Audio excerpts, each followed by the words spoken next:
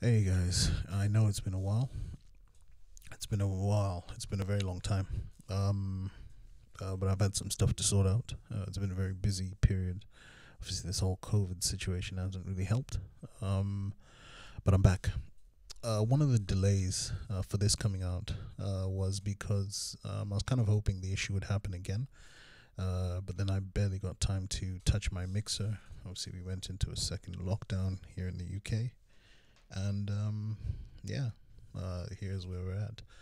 Um, so I haven't actually used uh, this mixer or even switched it on for a good few months now. Um, so I haven't had not the opportunity to have this problem again. Um, I was kind of hoping it, it would happen today so that I can actually test this out.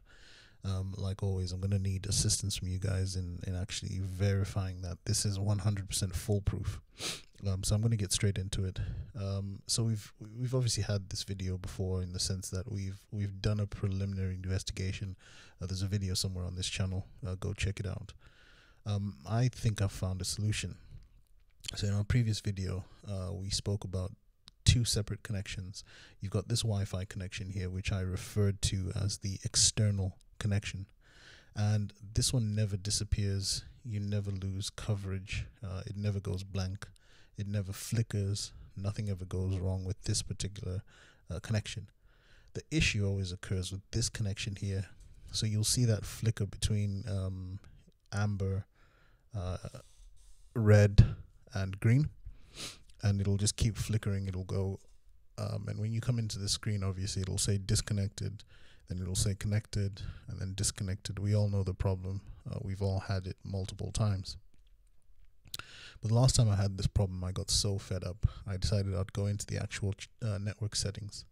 And this is where I believe I found the actual uh, solution to the problem. So I went into the network uh, settings, and obviously I'm using the internal router. Um, I know some people have experienced this issue with the external router. Generally, like I said in the previous video, if you use an external router, and if it's a really good router, um, you're less likely to have this issue. Uh, but I do know some people who have this issue with um, uh, with the external router as well. So you know, um, just bear that in mind. Uh, but I think the general sort of um, lean or direction from most of the people in the community are saying, get an external router, it'll be better, and they're not wrong. Uh, but anyway, you come into here and you obviously choose the first option, which says, I want this mixer to create a Wi Fi network that I can connect uh, to with a device running master fader. Click into there and you'll come here. Now, obviously, it's the same thing uh, with with when the issue is happening, uh, but this bo box here will be in red, and um, it will be empty. Uh, but what I did last time is I said I got so fed up, I thought I'm just gonna reset this thing up, uh, the the actual network settings, because th this option here is to go into your network settings. So I got so fed up, I said, whilst I'm having this issue, I'm going to reset up the entire network settings and see if that helps. When I came into here, I noticed that this box was empty with the password and it was red. So I initially thought, oh, maybe that's what the issue, the issue is. It's lost the password, so it can't connect. Uh, so I retyped the password um, in there that I have set up. I hit next, and boom, it worked. So after not being able to connect for about half an hour, all of a sudden I was in. Now, as I said, I've not had the opportunity to uh, experiment on this because I've not had the issue and I've not actually touched my mixer in a few months now. I've not uploaded a video um, in some time, and I think it's been a couple of months. Um, so I don't know for certain whether this is this is not tried and tested. I just know that it worked.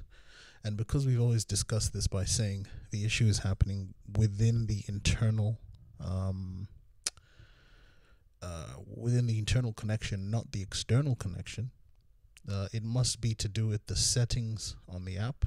Um, I mean, could be to do with the actual uh, router itself that Mackie have installed in there. It might just be that it's not, uh, I guess, the best of quality. I, I don't know. Um, uh, but I'm not going to knock uh, Mackie because as I always conclude after I finish my rants, um, this is a good product. Um, and for most of us that use this product, we appreciate uh, what Mackie have given us in this product. Um, there's always room for improvement with anybody. You know, I've, like I said, I've used Allen & Heath, Behringer, you name it. Um, there's always room for improvement. But yeah, stick your password in there, uh, hit next, go through all the options, and let me know if you've tried this option and it's failed. If it's failed, then we can get an idea that, you know, it was a fluke on my part.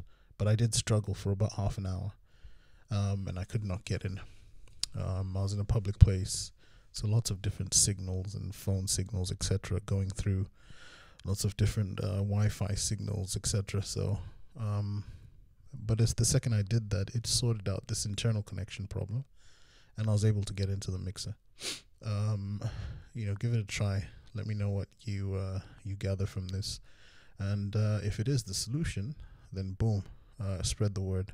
Um, but yeah, other than that, I hope you guys are doing good. Um, and I will catch you guys in another video.